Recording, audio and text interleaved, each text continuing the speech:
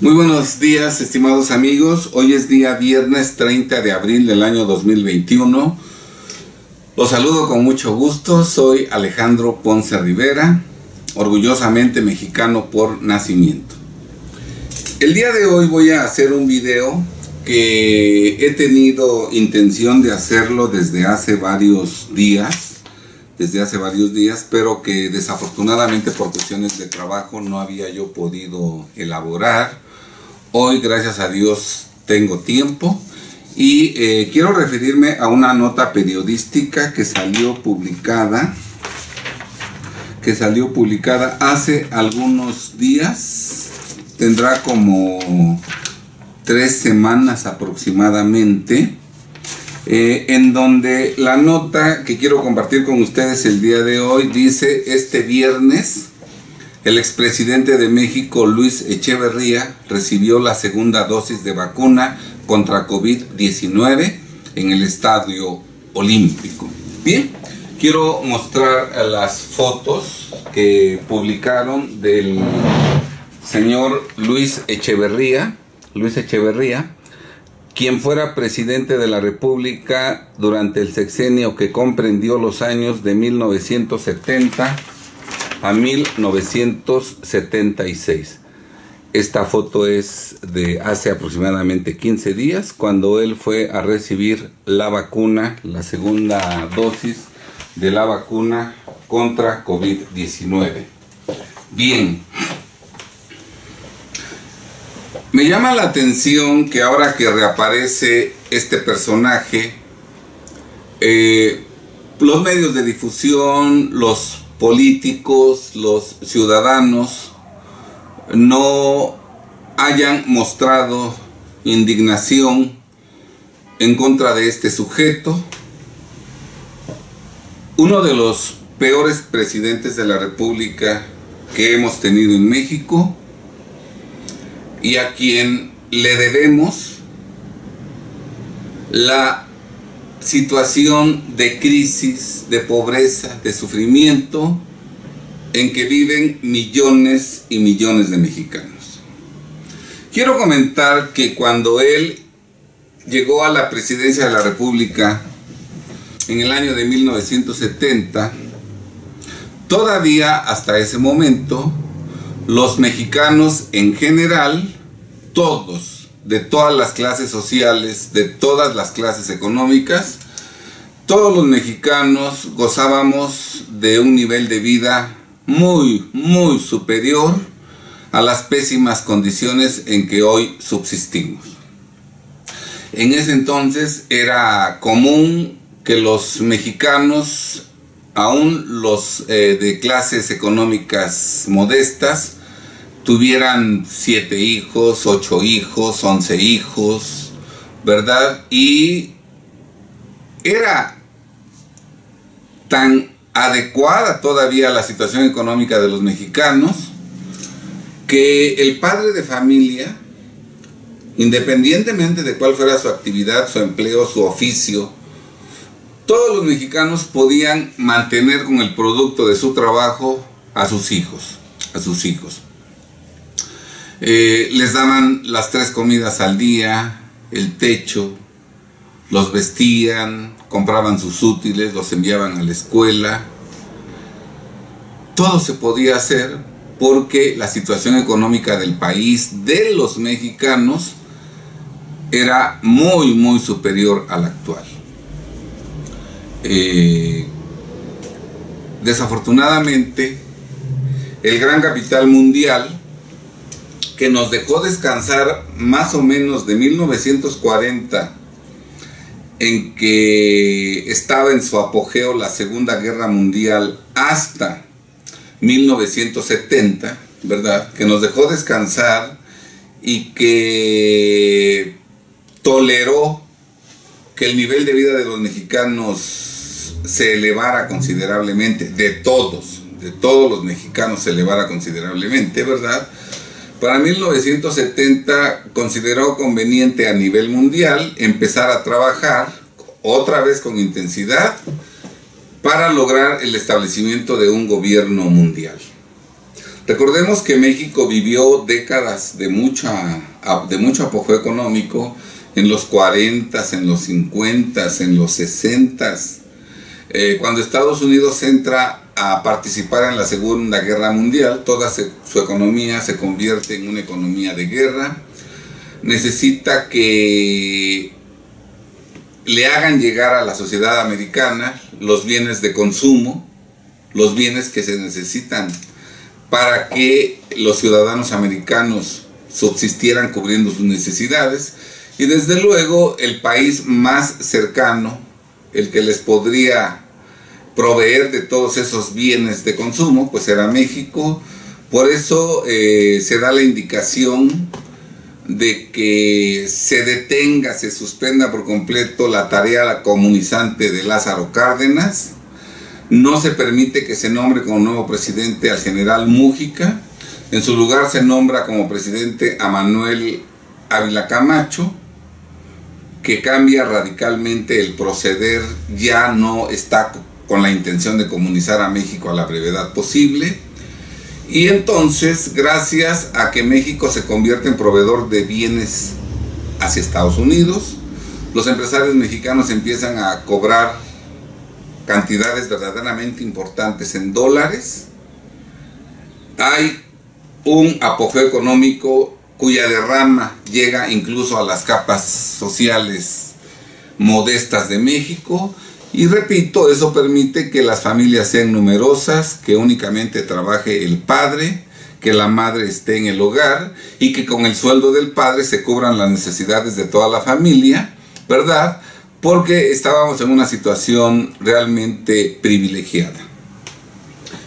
Sin embargo, repito, en 1970 el gran capital mundial decide empezar otra vez a trabajar con ímpetu para lograr que se establezca a mediano plazo un gobierno mundial y entonces eh, se hacen muchos movimientos a nivel mundial en ese momento, sobre todo utilizando a los jóvenes, movimientos juveniles en todo el mundo, ¿verdad? Y desde luego México no podía escapar a esa tendencia y nosotros también tenemos en 1968 un movimiento estudiantil eh, dirigido por intereses transnacionales, ¿verdad?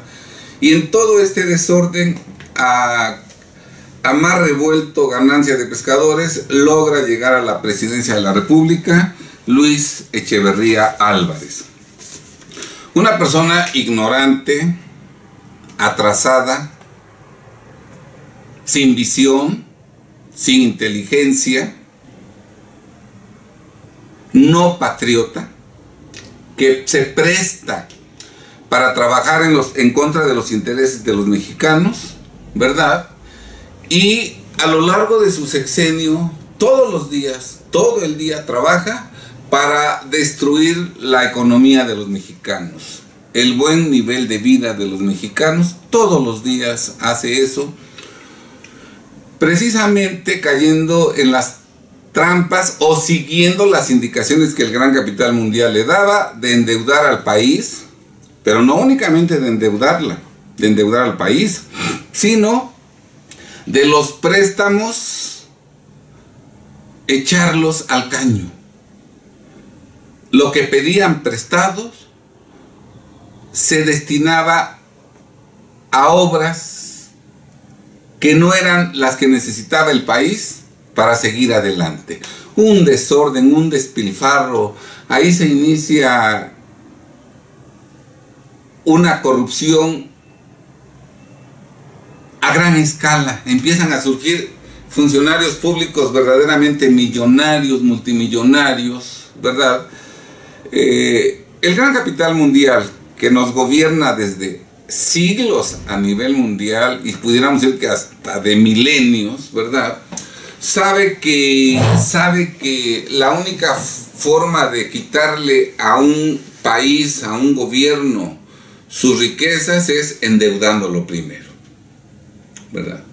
Y entonces, si, si ustedes ven videos de Luis Echeverría Álvarez en YouTube, verán cómo, según Luis Echeverría Álvarez, se ostentaba como un paladín de los países del tercer mundo de, un paladín, de un defensor de los países pobres, oponiéndose de palabra, criticando, ofendiendo a los países ricos, a los países industrializados. Los retaba, los agredía.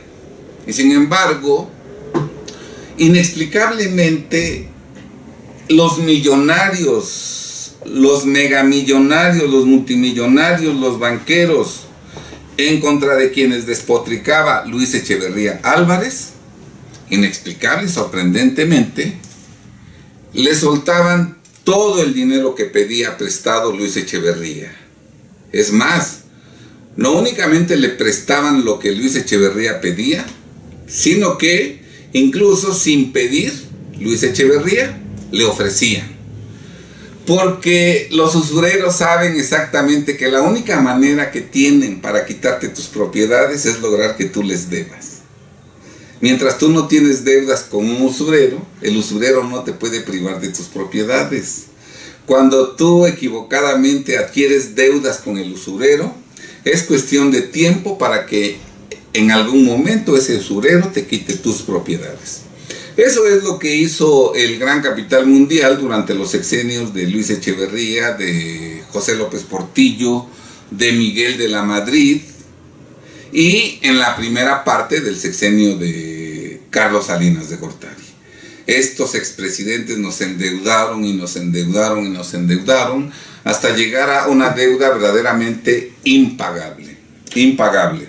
Jesús Silva Herzog que fue funcionario de la Secretaría de Hacienda y Crédito Público en el sexenio de López Portillo, y quienes muchos consideran que es una persona altamente calificada en finanzas, en finanzas públicas, ¿verdad? En algún video que circula por ahí que habla del sexenio de López Portillo, él presume cómo afuera de su oficina había fila de banqueros a nivel mundial que iban a ofrecerle a él, ¿verdad? Créditos para México, ¿verdad? Pero lo dice como con orgullo, ¿no? Como vean cómo ahí estaba la gente haciendo fila, banqueros muy importantes para prestarnos dinero. Sí, no. Ellos estaban ahí haciendo fila, ¿verdad? Para ver si engatusaban al idiota que estaba en su oficina y lograban que éste pidiera prestado lo que no necesitaba y además que pidiera prestado en condiciones totalmente desventajosas, ¿verdad?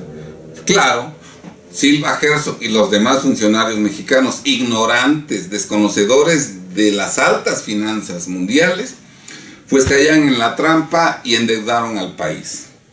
Seis años le bastaron a Luis Echeverría Álvarez para destruir la economía de los mexicanos para echar abajo nuestro nivel de vida decoroso y para sumirnos en la miseria.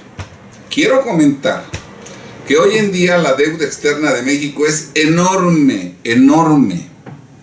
Y dentro de la enorme deuda pública externa que hoy tenemos, ahí está todo lo que pidió prestado Luis Echeverría Álvarez. Porque él nunca pagó un solo peso de lo que pidió prestado. Y en los gobiernos posteriores de López Portillo, de Miguel de la Madrid, de Carlos Salinas de Gortari, de Vicente Fox Quesada, de Calderón, de Peña y el actual gobierno de López Obrador, nadie ha pagado un solo peso del capital que le prestaron a Echeverría. Por eso nuestra deuda es enorme, porque todos los presidentes la han incrementado de una deuda controlada, minúscula, del gobierno cuando entró a la presidencia Luis Echeverría, creció espectacularmente, creció agregándose de lo que pidió prestado López Portillo, luego creció con lo que pidió prestado de la Madrid, y desde Salinas de Gortari han seguido pidiendo prestado, pero esos préstamos han sido para que se pague el servicio de la deuda, para que se paguen los intereses de la deuda, pero del capital que pidieron los presidentes prestados, entre ellos Luis Echeverría, ese capital prestado sigue formando parte de la deuda externa pública actual, respecto de la cual el actual gobierno tiene que pagar cantidades verdaderamente casi cercanas al billón de pesos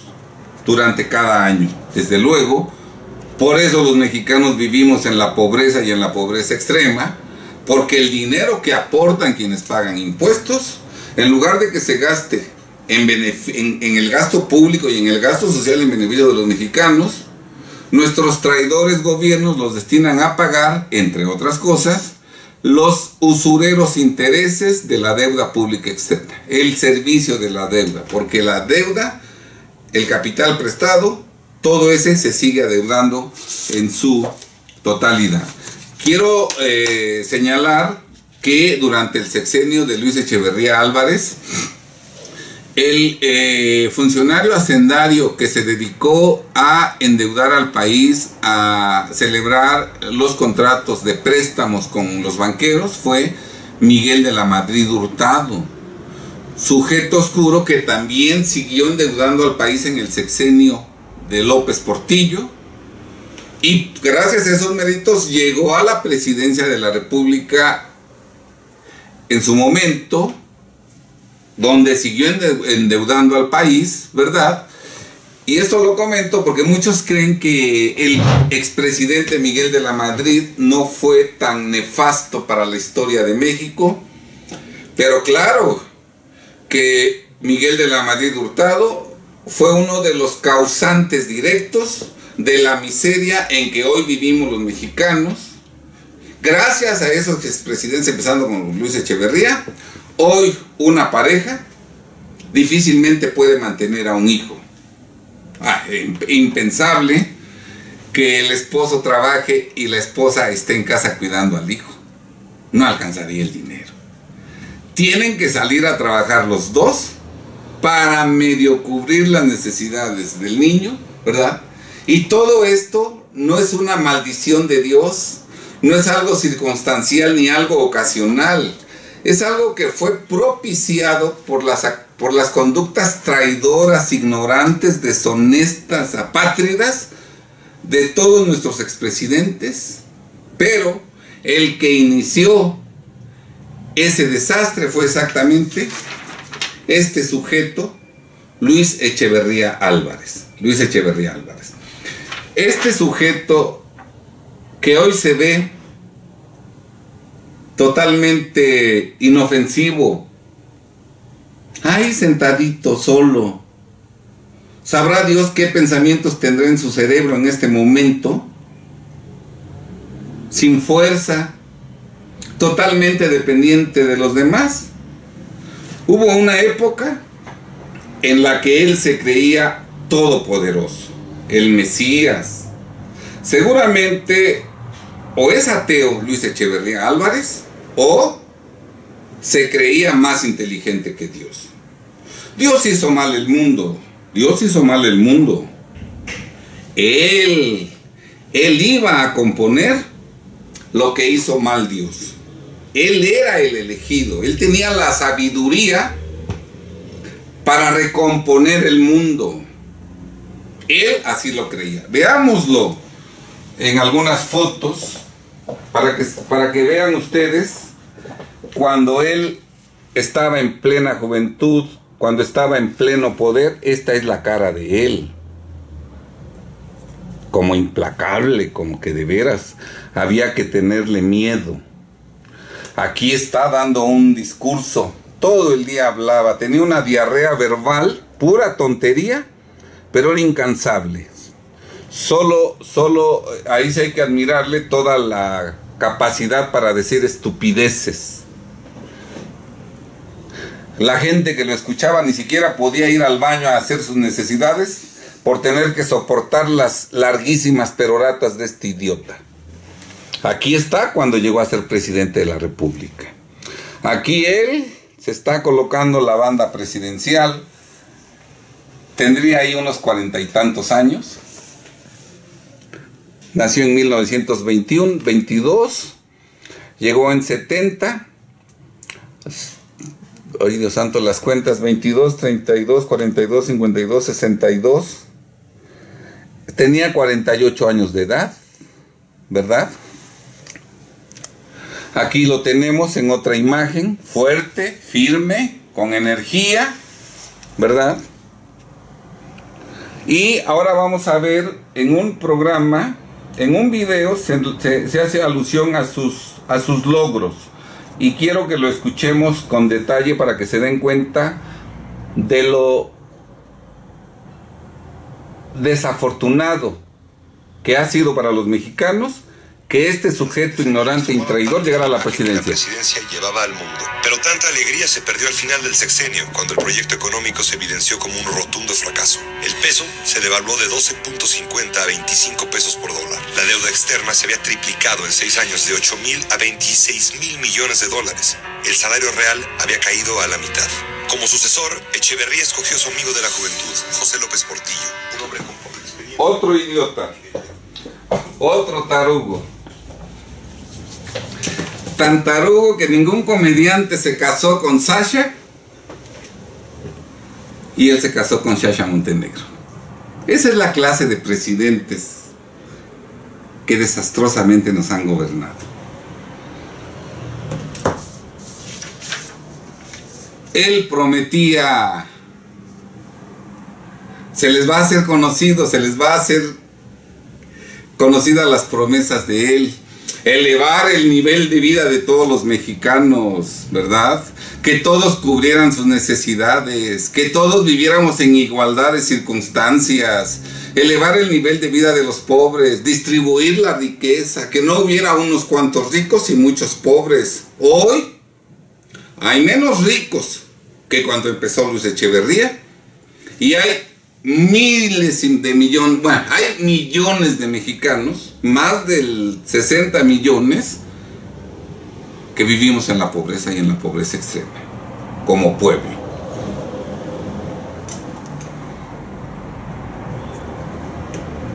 Siempre que un sujeto cree que Dios hizo malas cosas y que Él vino a este mundo a enmendar los errores que cometió Dios, estamos ante un pobre estúpido, ignorante, que trabaja para intereses transnacionales en contra de los mexicanos, de los mexicanos. ¿Qué pensará ahora este sujeto? Que a lo mejor se da cuenta del desastre en que metió a México. De que en lugar de hacer una sociedad igualitaria, en beneficio de los mexicanos, igualó a muchos mexicanos, pero en la pobreza, en la miseria, en el hambre. Yo no sé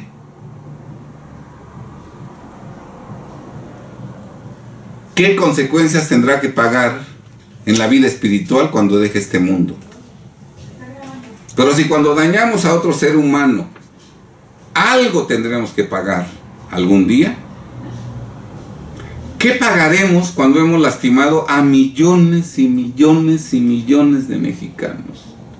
¿Ustedes tienen idea de a cuántos millones de mexicanos laceró y lastimó este sujeto? Porque en México somos ahorita 130 millones de mexicanos. Pero han nacido millones de mexicanos de 1970 al día de hoy y han fallecido millones de mexicanos. O sea que el número de millones de mexicanos que este sujeto afectó con sus traidoras e ignorantes políticas económicas es muy superior, es de centenas de millones. ¿Qué consecuencias tendrá que pagar por ese daño que ha efectuado a millones, a cientos de millones de hijos de Dios? Cientos de millones de hijos de Dios. Pero en fin, pero en fin.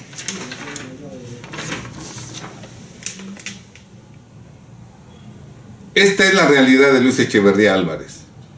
Ahí está solo, abandonado. Ni siquiera están con él sus hijos, sus nietos, sus bisnietos acompañándolo. Solo. ¿Verdad? Ahora imagínatelo cuando fallezca. Su espíritu negro, atrasado, ahí, ya descarnado, ante la presencia de Dios, rindiendo cuentas. Lo bueno es que tiene toda la eternidad para pagar el daño que ha hecho a millones, millones de mexicanos. Muchos de ustedes que me están escuchando en este momento no tenían mayor noticia de él. Y sin embargo, fue este sujeto el que empezó la debacle de, de la economía personal y familiar de los mexicanos. Ignoran que el plan de Dios es sabio y es eterno. Todo es, todo es temporal, todo es transitorio, todo es transitorio. Pero no, no, no nada más a nivel micro, sino también a nivel macro. Todos vemos cómo una flor empieza a surgir el capullo, cómo crece ese capullo, cómo abre sus hojas y nos da una belleza esplendorosa, y cómo al paso de los días empieza a envejecer ese, esa hermosa flor, hasta que esa flor que estaba abierta y plena empieza a caerse, hasta que se seca totalmente. ¿Sí está claro? La vida es de todo ser vivo, es nacer, crecer, reproducirse y morir. Todos estamos de paso. Hoy este día va a terminar y tendremos una noche. Y mañana otro día y otra noche. Estamos en primavera, pero vendrá el verano, luego el otoño, luego el invierno y luego la primavera otra vez. Estamos en abril, mañana empieza mayo, junio, julio, agosto, septiembre, octubre, noviembre, diciembre, enero, febrero, marzo, abril. Todo es cíclico. Todo es temporal. Nuestra tierra no es eterna. Nuestra tierra nació hace millones de años, miles de millones de años. Pero llegará un día, en miles de millones más, que la tierra desaparecerá. Nuestro sistema solar, pero aún más, las galaxias nacen, las galaxias mueren. Probablemente en este momento está surgiendo una nueva galaxia al mismo tiempo que se está extinguiendo otra galaxia. Como algo temporal, transitorio, algo que es flor de un día, puede pretender ser más sabio, más fuerte, mejor que Dios? Tiene que haber una ignorancia brutal aquí para poder querer no compararse, sino ver a Dios hacia abajo. Todo lo que hizo Dios mal, yo lo voy a arreglar. Por eso su lema fue arriba y adelante. Él prometía que todos iban a tener mejor nivel de vida, que los pobres iban a mejorar su nivel de vida, que el desempleado iba a tener un trabajo, que iban a mejorar los sueldos, que iba a elevar el nivel de vida de todos. Y hoy, antes de fallecer, nuestro Padre le da la oportunidad de que Él se percate que nada de eso hizo. Que por el contrario, ha lastimado no nada más a los millones de mexicanos que padecimos su sexenio, sino a los millones de mexicanos que hemos vivido después de que su sexenio concluyó. Porque lo nefasto de su gobierno no se quedó ahí, se prolongó simplemente. Todo lo que él pidió prestado, todo se debe todavía al día de hoy y todavía tenemos que estar pagando impuestos. ¿Sí está claro? Esta caricatura es más que Dios.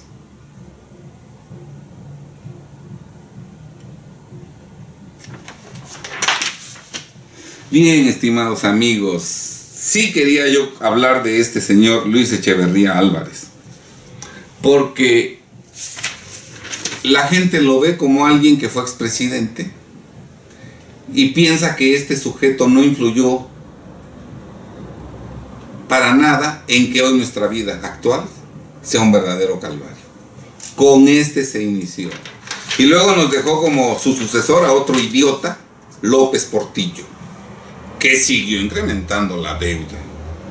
Y luego este dejó como sucesor al que nos endeudó en los sexenios de Echeverría y de López Portillo, Miguel de la Madrid Hurtado.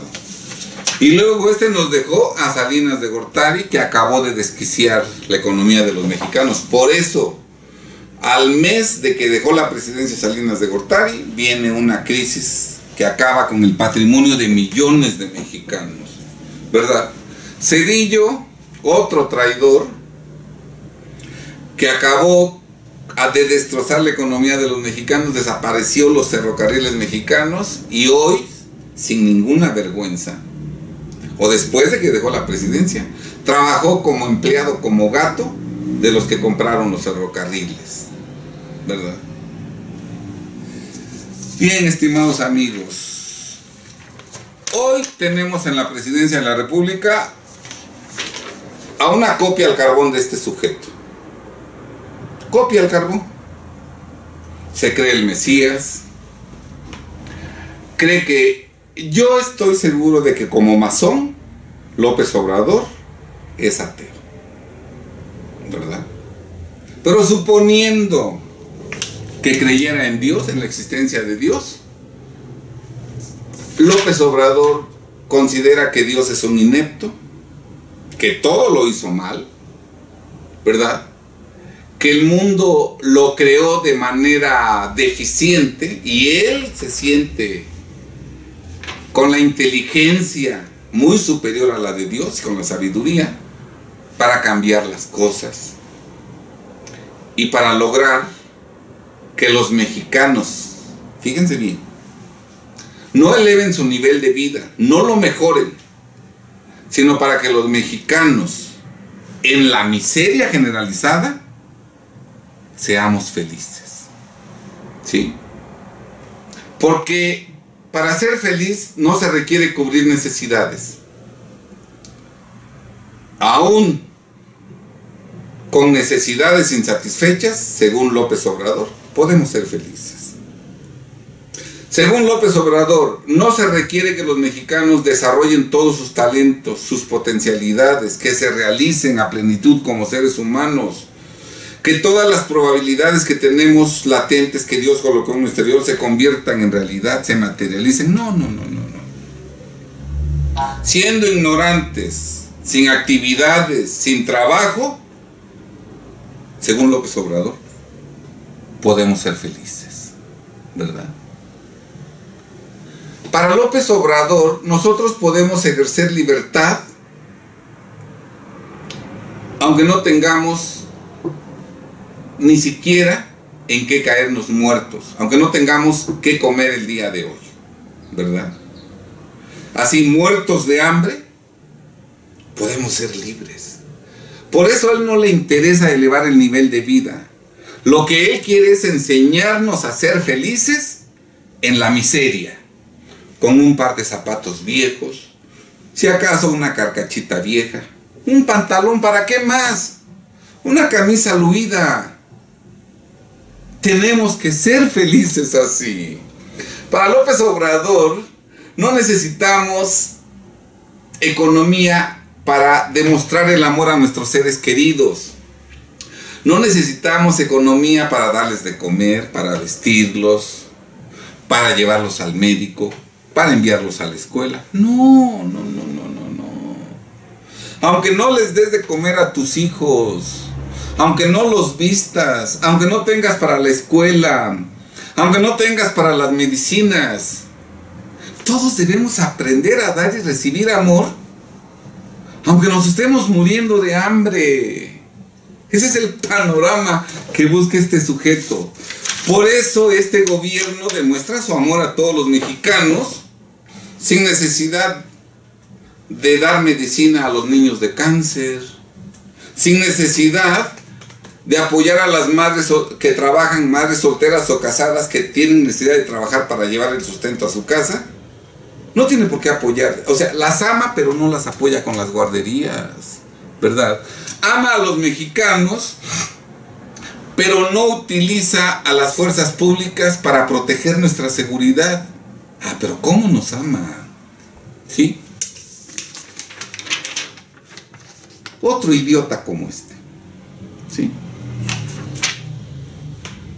Yo creo que si López Obrador llega a la edad de Luis Echeverría Álvarez, que tiene 99 años, que cómo me gustaría que llegara, ¿verdad? Estará en peores condiciones que este sujeto. Sí, ya ahorita. Dice que tiene 67 años, aunque se ve que tiene más, o 68 años. Si ahorita está en las condiciones en que está, imagínatelo si llega a los 99 años. Y algo muy importante, Luis Echeverría y López Obrador son utilizados como Kleenex, como eh, papeles desechables por el gran capital mundial. Los manipulan, los halagan, les dan directrices mientras están en el poder gracias al gran capital mundial. Primero los llevan al poder, les dan, después les dan todas las facilidades, todo para que sigan adelante con sus decisiones equivocadas en perjuicio de los mexicanos, ¿verdad? Y ya que hicieron su tarea, ya que él endeudó al país, vimos ya cómo de 8 millones subió la deuda pública, 8, 8 mil millones. Para que no me equivoque yo, vimos cómo cuando él llegó a la presidencia de la República, la deuda pública estaba en 8 mil millones de dólares y la dejó en 26 mil millones de dólares. Cuando llegó nuestro peso, un dólar valía 12.50 pesos por dólar. Después, cuando él dejó, valía el doble, 25 pesos por dólar. Y el sueldo el salario, el valor adquisitivo del salario de los mexicanos se fue a la mitad. Bien, una vez que ya trabajaron para los intereses del gran capital, hacen con los presidentes lo que todos hacemos después de utilizar un, pañuelo desechable, a la basura. Están aquí los Rothschilds, los Rockefeller, ¿Lo han invitado a sus mansiones en alguna ocasión? ¿En alguna boda de la familia, de familiares de los, de los Rockefeller? Él estado de invitado últimamente. ¿Se frecuentan las familias? No, este es un pobre idiota que utilizaron y ya que lo utilizaron, órale, al cesto de la basura. ¿Sí está claro? López Obrador, gracias al trabajo sucio que hace a favor del gran capital mundial en contra de los mexicanos, sus hijos zánganos pueden darse un nivel de vida de mucho nivel que nunca se imaginaron, ¿verdad? Andan en Aspen, ¿verdad? Se dan, frecuentan hoteles eh, carísimos, restaurantes, beben bebidas de alto costo, ¿verdad? Pero comparten la mesa con Bill Gates ¿Con los Rockefeller? No. Entre ellos andan ahí con algunos vividores que se les acercan para disfrutar de los lujos mal habidos de estos hijos, ¿verdad?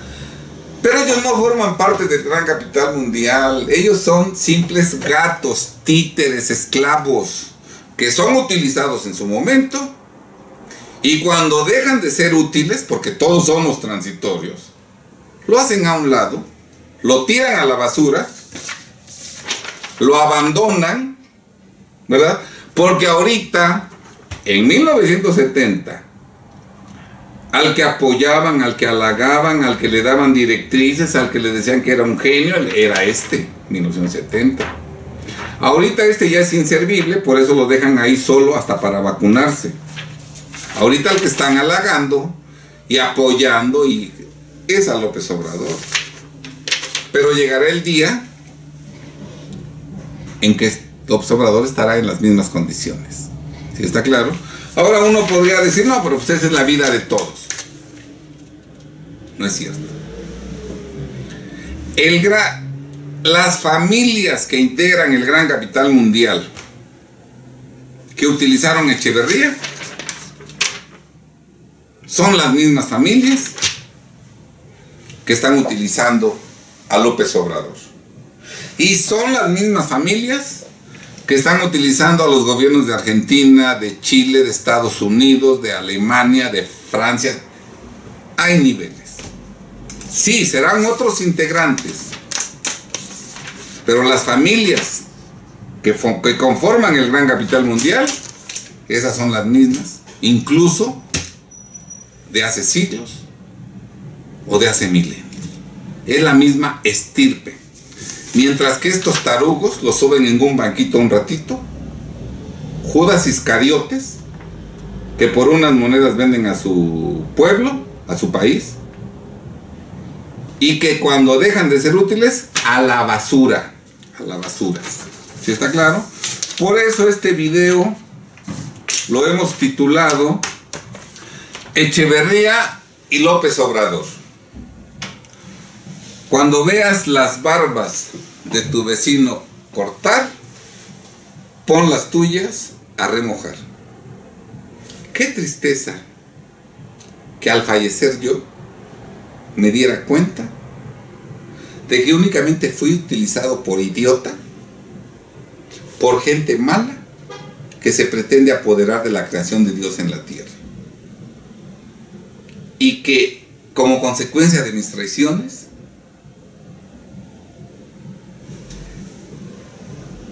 dejé a todos mis paisanos, a todo mi pueblo, en la miseria. Que fui un Judas Iscariote, que por unas cuantas monedas y por disfrutar 30, 40, 50 años de lujos, ahora tengo que enfrentar toda una eternidad para pagar ante Dios todo el daño que le ocasioné por mi ceguera, por mi ignorancia, por mi atraso, a millones y millones de sus hijos en el haz de la tierra. Bien, estimados amigos, vienen las elecciones el 6 de junio. No estamos de adorno, no vinimos paralíticos, no tenemos el cerebro vacío, tenemos dos manos. Tenemos intelecto, inteligencia. Dios nos dio todo eso. Usémoslo, usémoslo, no lo tengamos de adorno por propia conveniencia. Ojalá con nuestro voto, ojalá con nuestro voto, saquemos del poder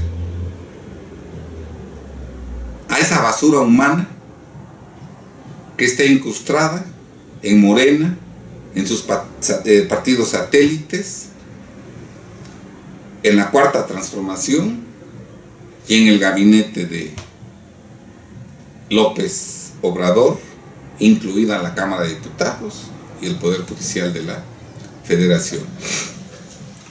Desafortunadamente, lo único que podemos optar es por algo que no sea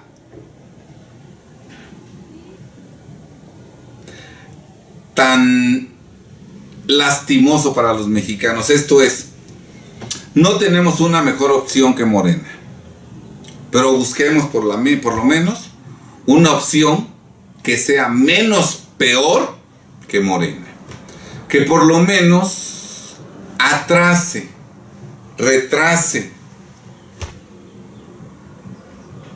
el que el gran capital mundial alcance sus objetivos en nuestro país. Quiero nada más acabar diciendo que todo lo que está pasando en el país no es creación de la inteligencia de Andrés Manuel López Obrador. No. Andrés Manuel López Obrador es un masón. Es un integrante de la masonería universal. Y la masonería universal es la esclava del gran capital mundial. ¿Qué hace la la masonería universal? ¿Qué hace? Siempre ha hecho lo mismo llevar a la, a la práctica, en la realidad, las indicaciones que les da el gran capital mundial. Y el gran capital mundial no necesariamente es Bill Gates, ni Soros, ni Rockefeller, ni los Rothschilds. Esos son los que dan la cara. Atrás de ellos hay gente verdaderamente poderosa, inaccesible, invisible, que es realmente la que domina el mundo. Entonces, el gran capital mundial utiliza a los visibles, Soros, Bill Gates, Rockefeller, Rothschild, para que estos den las indicaciones a la masonería universal sobre lo que deben hacer en dónde, en todo el mundo, por eso es masonería universal, para destruir la economía de todos los países, porque países fuertes económicamente no pueden ser llevados a un gobierno mundial. Tienen que ser países muertos de hambre, ¿verdad? En crisis económica brutal, para que ahora sí, como rebaño, nos lleven a un nuevo orden mundial con un gobierno mundial. ¿Sí está claro? Entonces, el gran capital mundial indica a través de la masonería universal en México lo que debe hacerse por los masones para que el gran capital mundial alcance sus objetivos. Y a cada quien le dan su partitura. Presidentes municipales, gobernadores, diputados locales, diputados federales, senadores, gabinete, presidente de la República, poder judicial, eh, poder legislativo. Todos tienen su partitura. No todos obedecen a López Obrador. No. Todos obedecen a la masonería universal y al gran capital mundial.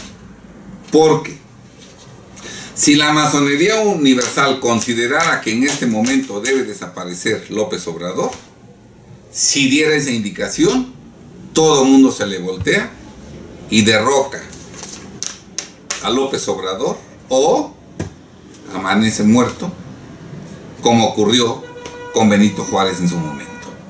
¿Sí está claro? Entonces, López Obrador no es tan inteligente, tan poderoso, tan fuerte, que todo el mundo en el país, toda esa eh, bola de integrantes de la 4T, todos los, lo siguen ciegamente a él porque realmente él tiene un carisma brutal, ¿no? La indicación es que todos deben apoyar el plan del gran capital mundial y López Obrador hace lo suyo y el diputado local hace lo y todo el mundo hace lo suyo. Si hubiera un cambio de partitura en donde dijeran ya, cambiemos a López Obrador, en un ratito lo puede hacer el, el gran capital mundial, porque en México todo el sistema político está influenciado por la masonería universal. Bien, estimados amigos, entonces, optar por otro partido no nos llevará al éxito y a la prosperidad y a la felicidad, aparte de que el país está sumamente lastimado ya. Pero sí retrasará los males planes que quieren llevar a cabo en breve lapso. Lo podrán hacer en breve lapso si gana Morena y sus partidos satélites. Tendrán que esperar más tiempo. Si, si logramos que ganen partidos opositores a Morena y a sus partidos aliados.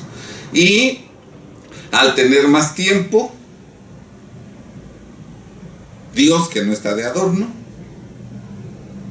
en su poder puede ayudarnos para que cambien estas cosas. ¿Cómo lo puede hacer Dios? Solo Él lo sabe. Pero en México nos hemos hablado muchas veces. La última con Lázaro Cárdenas. Que si no ha habido Segunda Guerra Mundial, estaríamos en un país comunizado desde Lázaro Cárdenas. Gracias a la Segunda Guerra Mundial, se detuvo la comunización del país. ¿Sí está claro? ¿Cómo lo podría detener ahora nuestro Padre Eterno? Solo Él lo sabe. Solo Él lo sabe y lo puede hacer si es su voluntad. Nosotros ganaremos tiempo, ¿verdad? Si logramos que Morena y partidos satélites no lleguen al poder. Ya vimos al diputado poblano, pederasta, cínico, ignorante, que ante tanta evidencia, su única defensa es que la familia y el menor que lo acusan, ¿verdad? Fueron contratados por la mafia del poder para desprestigiarlo. Si ahí vemos a la mafia del poder obligándolo al diputado para que llegue al hotel, obligándolo para que pague una sola habitación, obligándolo para que abra la puerta de la habitación, obligándolo para que invite a entrar al menor y acostándose con él en una sola cama. Qué porquería de ser humano. Bien, estimados amigos. Bien, Andrés Manuel López Obrador utiliza a Luis Echeverría como un espejo para que veas el futuro que te espera. En el haz de la tierra en tus próximos años y lo que te esperará después de que fallezcas, cuando tengas que rendirle cuentas a nuestro Padre por todo el daño que ocasionarás a los millones de mexicanos, no únicamente a los que vivimos en este momento, sino a los que están naciendo y a los que nacerán a futuro. Bien, estimados amigos, que Dios nos ilumine como pueblo para que tomamos, tomemos decisiones correctas que hagan que nuestra vida en el haz de la tierra sea más llevadera. Sean muy felices, muy buenas tardes. Hasta luego.